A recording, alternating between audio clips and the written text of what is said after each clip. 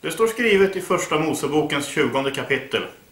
Och Abraham bröt upp därifrån och drog till sydlandet. Där uppehöll han sig mellan Kades och Sur, och någon, någon tid bodde han i Gerar.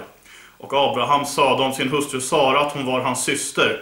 Då sände Abimelek, konungen i Gerar, eh, och lät hämta Sara till sig. Men Gud kom till Abimelek i en dröm om natten och sade till honom Se, du måste dö för den kvinnas skull som du har tagit till dig, fastän hon är en annan mans äkta hustru.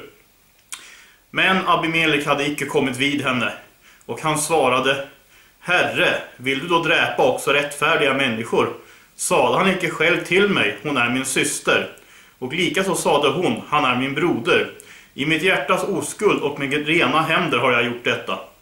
Då sade Gud till honom i drömmen, ja, jag vet att du har gjort detta i ditt hjärtas oskuld, och jag har själv hindrat dig från att synda mot mig. Därför har jag icke tillstatt dig att komma vid henne. Men giv nu mannen hans hustru tillbaka, ty han är en profet, och han må bedja för dig så att du får leva. Men om du icke giver henne tillbaka, så vet du att du skall döden dö, du själv och alla som tillhöra dig. Då stod Abimelek upp bittida om morgonen och kallade till sig alla sina tjänare och berättade allt detta för dem.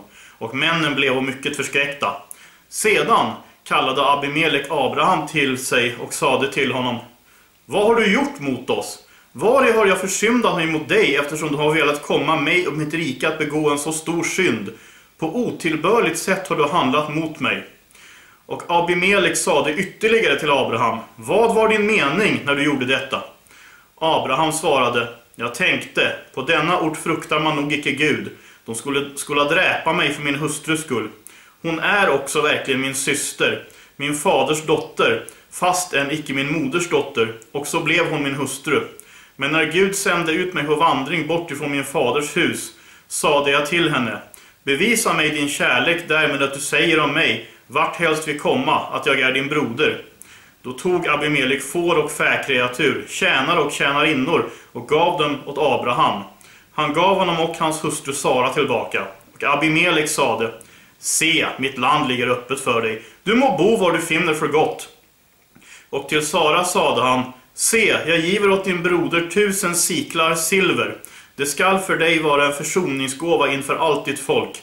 Så har du inför alla fått upprättelse.